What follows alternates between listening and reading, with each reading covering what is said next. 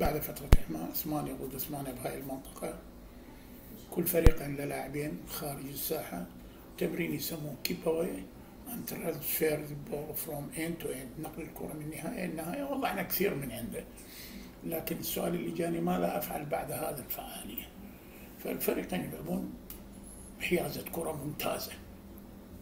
والفريق اللي عنده الكرة ينقل الكرة بين اللاعبين الزملاء اللي خارج الساحة فيكون هناك يسموه playing from end to end.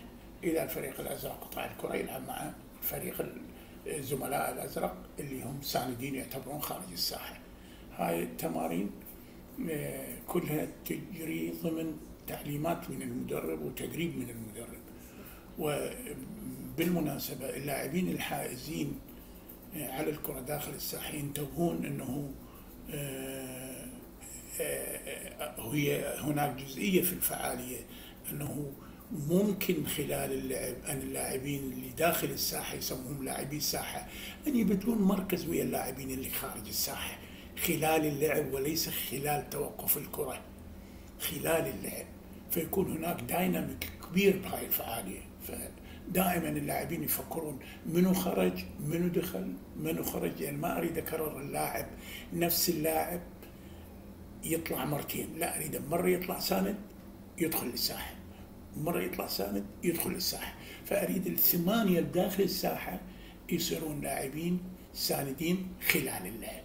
خلال اللعب دون توقف اللعب. بس.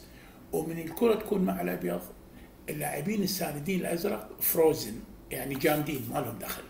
ومن تصير الكرة عند الفريق الأزرق داخل الساحة اللاعبين الساندين الأبيض فروزن ما لهم دخل. من التمارين المهمة جدا جدا. وفي الساحة تلاحظ مدرب حراس المرمى ده يدرب حراس المرمى أحسن تدريب لحراس المرمى هو أنه اللاعب الأسود يلعب إلى المدرب كرة والمدرب يضع الكرة ما يصوب الكرة بكل قوته وإنما يضع الكرة في إحدى الزوايا.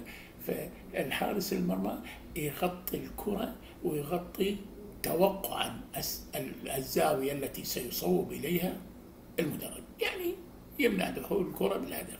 فالمدرب الحراس هنا يعمل بشكل يمكن الحارس نوعا ما من آه، أخذ الوقت الكافي لتغطية الزاوية توقعا التي سيصوب إليها مدرب الحراس. هذا يستمر يعني لفترة معينة لا تقل عن 20 دقيقة. لعب ممتاز. زين ثم أنقل الفريقين. يصيرون هنا عندي ثمانية ضد ثمانية واثنين. عشرة ضد عشرة.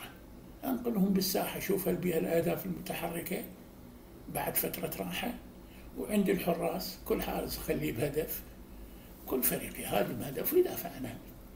هنا أعطي ما يعرف باللعب الحر لأن المنطقة الآن اللي نلعب بها إحنا على هدفين التقسيمة تعتبر ضيقة لعدد لاعبين 11 against 11 تكون أنت دربت اللعب بشكل ممتاز سواء فترة إعداد فترة منافسات.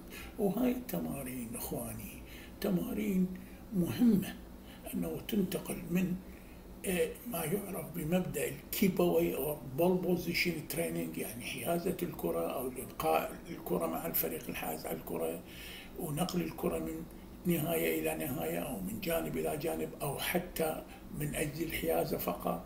ثم تنتقل بنفس المجموعة اللي تشوفها أمامك للعب على هدفين.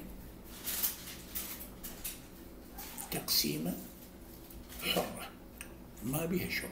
تكون من التمارين الراقية جدا جدا جدا إن شاء الله. شكرا جزيلا.